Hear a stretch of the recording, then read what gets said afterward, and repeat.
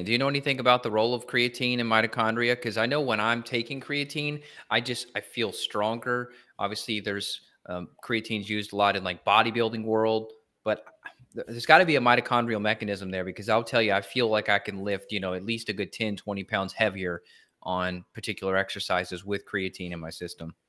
Yeah, I mean, creatine definitely has an effect on growth hormone, improving growth hormone. Thus, that will help with muscle. Creatine is like instant energy for the muscle, so it's it's there. It's ready to be used right away in that first ten seconds, five five to ten seconds of muscle use or like explosion movement through that muscle. So that definitely plays a role in muscle. Um, I'm not sure how it plugs in 100%. Because really, you know, with uh, ATP, right, and the mitochondrial function, if you look inside the mitochondria, you have glycolysis, and then you have the electron transport chain. Or I'm sorry, you have the Krebs cycle, citric acid cycle, and then that plugs into the electron transport chain. So glycolysis, that's going to be util- utilizing the carbohydrate um, in the muscle, right? Glycogen in the muscle, fast, immediate source. I think creatine plugs into that top part. And then you have the Krebs cycle, citric acid cycle, where B vitamins, magnesium, all these different things kind of plug into that. And with the with the citric acid or Krebs cycle, the, the, mean the same thing.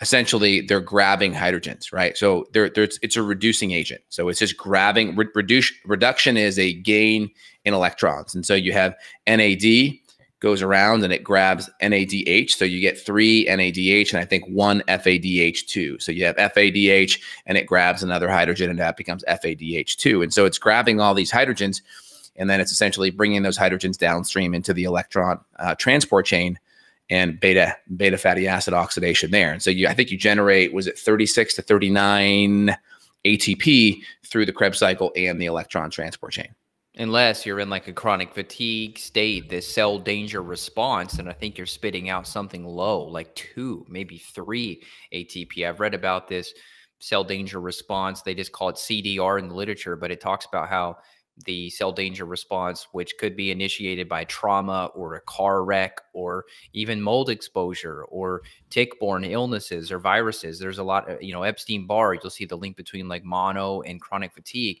It's said that these people are in this state of just a low power output where even if you have the nutrients, you're just not generating the ATP. It was some, I don't know if it was Kalish or somebody that, that you and I had looked into where there was a talk on this about how the the the ATP was literally in the single digits, the low single digit output in some of these states. So the message here is that for people that have chronic fatigue, you got to realize there is a mitochondrial component to this. Why don't we talk about testing a little bit?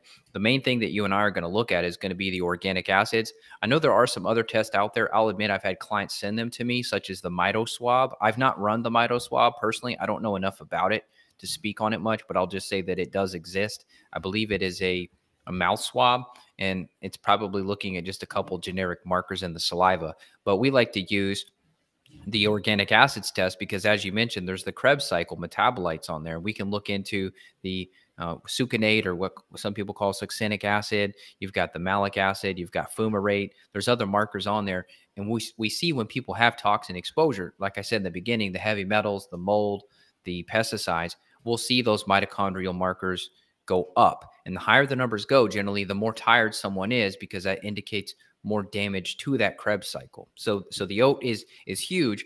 And then obviously we'll look at stool too.